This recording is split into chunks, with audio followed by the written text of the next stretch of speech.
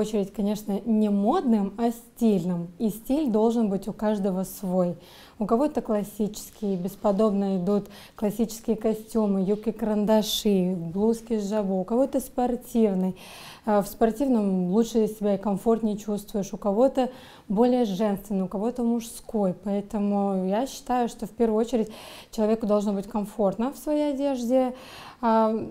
Соответственно, отсюда он, он будет выглядеть стильно, ну и не бояться креативных новых решений. А, Все-таки пролистывать модные журналы, прислушиваться к звездным стилистам и по мере возможности привлекать в свой гардероб новые тенденции, новые вещи, яркие решения.